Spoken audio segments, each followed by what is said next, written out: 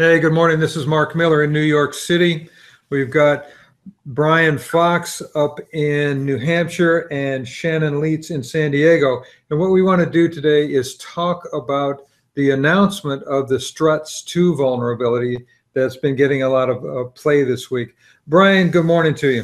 Good morning. When uh, when we first started seeing the Struts 2 announcements here, what did you find as you were looking through the central repository data to find out what was going on? Um, yeah, we, we found, we, we looked back to see, of course, uh, as we usually do, to see, uh, you know, how prevalent the particular affected versions are. Um, you know, Struts, despite years of, of issues like this, still has uh, a significant uh, uh, amount of usage. We, we found that um, there were a total of 13.1 million downloads of uh, Struts uh, components from Central uh, in the calendar year 2016 um, uh, of about 2,000 different uh, individual modules, and uh, at least a quarter of those were of vulnerable versions. Um, which make up about 35% of all the struts downloads. So even despite the fact that this isn't the first high-profile struts um, attack that's been exploited in the wild, um, it's still still quite popular. Um, somewhat not surprising given that struts itself is a framework and it's not really simple to just switch off of it. Uh, it basically uh, equates to rewriting your entire application uh, or at least the front end and significant part of the, the business logic flow needs to be rewritten to get off of something like struts. So um, it, it's certainly a challenge for users is that one of the reasons that people are still using struts? Is it so embedded in their applications, it's hard to move off of it? Yeah, that's exactly the reason. It's uh, it's the the application framework that inter that that drives all of the logic back and forth between the client and the server. And so changing that to something else, some other MVP pattern, um, is is a significant forklift of the of the application. So we've seen lots of people try to contain it. I don't think many people are starting new applications on, on struts these days, but it, as the numbers show, it still has a significant um, population out there. I'm going to share my screen because we've got some data that uh, you had pulled up, you and your team had pulled up. Can you talk a little bit about what we're seeing here? Can you see that on screen now? Uh, not yet. Yep. Okay. Yeah, that was the data that I, I just kind of went through. Um, you know, we, we, we see this a lot. You know, we try to get the message out and help our customers make sure that you know, for projects that are using struts uh, to make sure that you're using the right versions. Um, and uh, in this case, you need to get up to the latest and greatest uh, struts 2. Um, this particular vulnerability does not affect struts 1. However, struts 1 um, has many high-profile, well-known remotely code exploits uh, uh, on their own. I, am not aware of any versions of struts 1 that are, you know, quote-unquote safe to use at this point. Uh, Brian, for those that aren't aware of the work that you've done with Central, can you give us a little bit of background on your affiliation with Central Repository? I've always been a student. so you know uh, quite literally running IT ops for the central repository and you know keeping scrapers at bay and making sure the machines keep running and and uh, you know keeping it secure and all those types of things. Okay, great. Uh, when we're looking at to this, the update that we had yesterday on remediation guidance, are there specific things that you're recommending that people do right now?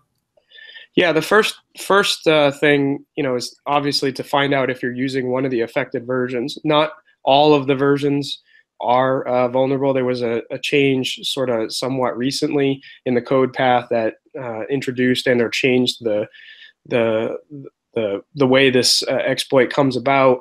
Um, you know, obviously moving to the latest version of struts and getting your uh, application redeployed would be the, the preference.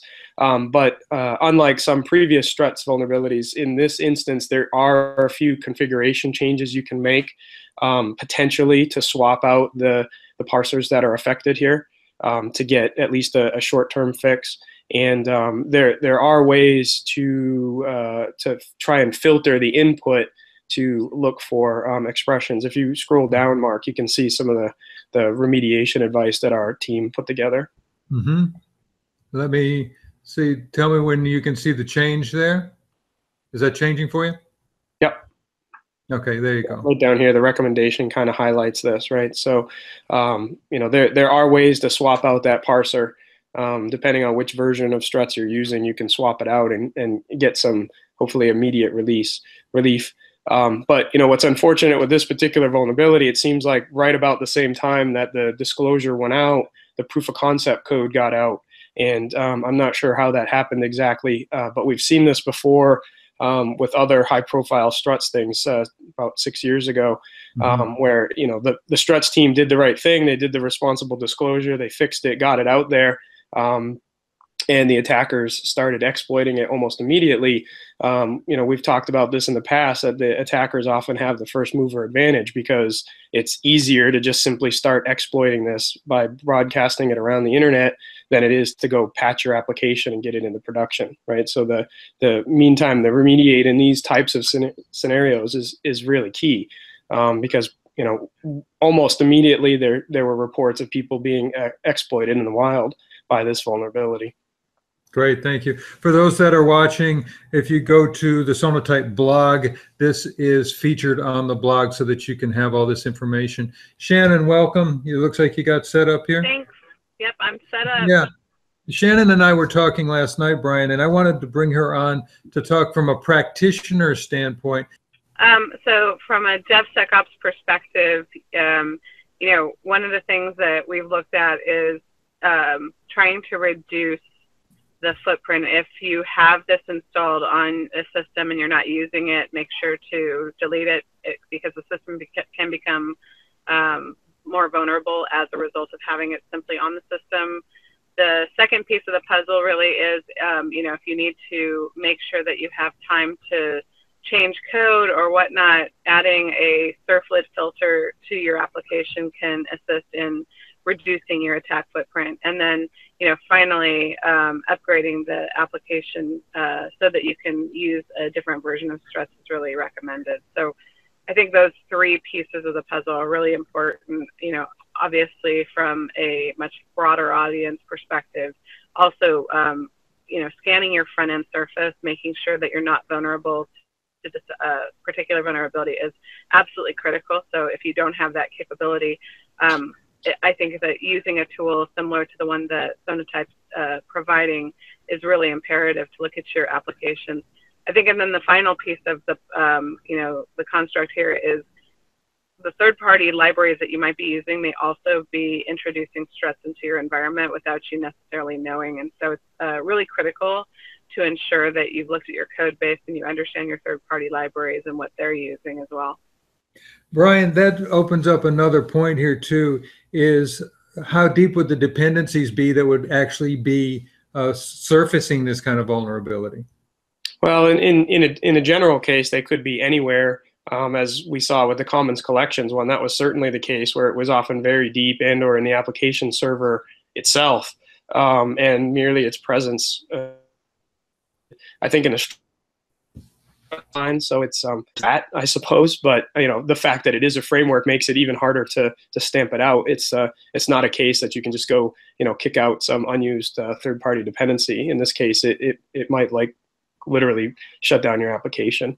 Um, but you know you, the the other thing that's worth pointing out here is you know that obviously picking the better components and, and, keeping track of those things is key. You know, in, in cases like this, you know, a, a defense in depth approach truly is uh, really valuable because this case it's exploiting, um, it's executing code as the application server, right? And so um, if if you're running your application server in a lockdown uh, as a lockdown user, um, you know, while it's annoying, the damage may be contained. However, if if this uh, process is running as root, they get access to your system and can do whatever they want and, and hop off from there, right? So um, this is is you know one of these cases where uh, you know the process really matters and, and the best practices for how you're actually running your application can have profound impacts when when something like this comes along.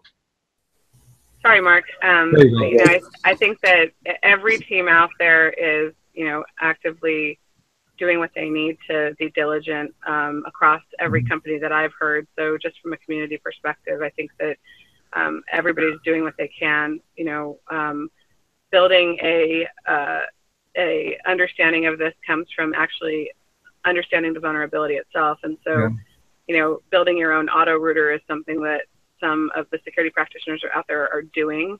And, you know, I think that that's actually very useful in understanding how the vulnerability may play out against your environment. Great. You had mentioned also in passing the application health check. Uh, Brian, that is a free tool, right, that we're providing to the community for things like this? That's right. Yeah, you can get that on our, our website, um, and it, it, it runs it locally, and then and then provides you a full bill of materials with all of the information uh, that you saw earlier uh, on the on the blog post. Great. For, any vulnerability. So if you're if you're using struts, um, this may not be the only one that you have to deal with. This is just the latest one. That's right. One of the things that we get as a question on this tool too, just to get it out front, are we sending any data to our servers? People are concerned about privacy of data and things like that. Yeah, no, um, that was one of the factors when we built it. So we we fingerprint all of the components and, and create basically one-way hashes of various elements of the the things inside your application, and that's all that gets sent. Um, we don't we don't get your binaries, we don't get your source code or anything like that. So literally, it's just um, a bunch of hashes, and then we look them up. And so if we know what those hashes are. If we can do the match, we tell you what they are, and then we tell you what we know about it. But for example, if it if it's a hash of some internal jar, it's just a hash to us. We don't know what it is. All right, cool. Uh, Shannon, as lead of DevSecOps, pretty much uh, in the world. I mean, that's what you do, traveling the world, talking about DevSecOps. When announcements like this happen, I mean, what what goes through in your brain? I mean, do you think of it on a global scale? Do you think of uh, internally first handling? Where does your mind go when an announcement like this happens? You know, I, I think it goes straight to the fact that I want safer software sooner, and this is a very serious issue. Um, you know, Struts ha- was, ha- I have a deep um, appreciation of Struts and what it really can mean from the standpoint of an application. Um, in my past, I had to clean up a, a major breach as a result of a Struts uh, issue and so I, I, think that it's really critical to make sure that um, as a community we understand how to eradicate this, share the knowledge, share the tools, um, share the understanding, and I think that that's um, where my head goes to immediately.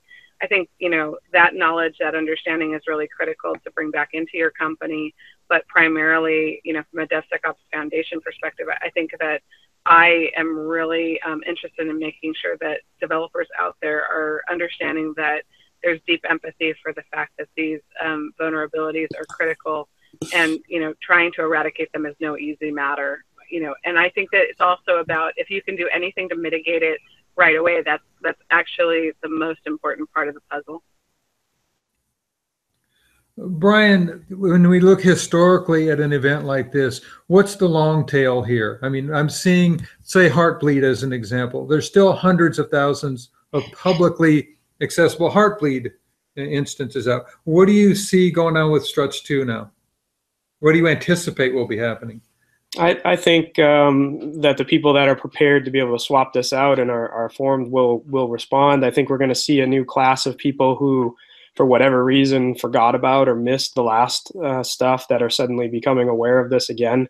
Um, you know, but uh, given how hard it is to change uh, something as fundamental as struts, uh, I'm not believing that we're just going to see you know this disappear overnight the, the the evidence shows you know what what was the number 34 40 35% of all struts downloads in 2016 were of vulnerable versions and some of those versions have been vulnerable for 10 plus years right so um, I see it all the time when I when I go to conferences and I talk to people. There's always one or two people in the room who uh, are using it and um, are completely unaware how risky that is. So um, yeah, I think all, a lot of the vulnerabilities of late, especially in struts, all kind of derive from the the same root cause, which is the the OGNL, the object graph notation language that Struts uses to to evaluate expressions, similar to the code that was in Commons collection. There, you know, the intent there is to be able to instantiate objects and execute them. That's why that stuff exists. And so a lot of these um, Struts 2 vulnerabilities are all just basically flavors of the same root problem, which is tricking the system into taking input and executing it. Um, and, and in this case, they just they found a new avenue, which is to to use the content type. You know, previous avenues were um, you know other request passing parameters and, and things like that. So you know th- there probably are ways to secure the systems to look for certain types of expressions where they don't belong. You know, filtering, pre-filtering, and things like that. And I think you know if if you're going to be stuck on struts for a while, I think you need to start thinking how can you you know prevent this class of problem because this is just the latest um, vector for the same same class of problem. Shannon, anything on that? No, I, I think he's totally right. I think that you know um, we all have libraries and applications out there. You know, regardless of what's going on, understanding their attack surface is really critical. Uh, you know, doing things like attack maps, making sure that you have an understanding of your surface area, and having mitigating controls is really necessary. Um, you know, it's it's really uh, interesting. If you have a WAF, you can put in certain rules. Um, you can use a, a servlet to be able to filter the applications. And I think that having some strategy is really important to understand how much you can leverage a component like this. Right. It, it's obviously key to know what what you have, like we talked about before. Making sure you understand what that surface area actually is. It's shocking uh, that we see so many people have simply no clue what's actually in their applications. So you know, knowledge is power in this case, and then being able to put those uh, mitigating controls, you know, comes from understanding what that surface area actually is. Shannon, as we're uh, we're closing up here, what do you want to see happen as a result of this? What would you what's your recommendation? What are you hoping to see? Uh, how the community responds? What are you looking for? Yeah, I think if you're a developer, um, primarily as a security practitioner, my guidance is to go out, take a look at your applications, understand its attack surface, understand how you've got um, your logging set up, ensure that you've gone through the, the security hierarchy of needs and you've got the right containment profile for an application that's using a library like this. And then ultimately, um, making sure you have the right mitigation strategy to, to match your attack surface and your attack map uh, doing so will have a profound effect on being able to deal with um, any of the zero days that are out there. Brian, it looks like you were nodding in agreement on a lot of things she was saying there. Yeah, uh, I mean, it's like I said before, it, it, stems from understanding what's really inside your software. Without that, you can't do any of the things that Shannon's talking about. You can't really exploits might or things to be guarding against. So being able to understand that and then you know deal with it and then make better choices as you go forward is is key. It's kind of what we're all about at Sonatype. Okay, that's it from my end. Unless you two have something else you'd like to cover on this incident here. No. Great. Shannon, thank you for pulling over on the freeway there and uh, giving us your time. Shannon's literally on the freeway in San Diego right now. I'm actually off the freeway now, but Oh, yes. Good, thank you. Brian, as always, good to talk to you. Thank you, guys. Thank you guys. All right, thanks. Okay, bye-bye.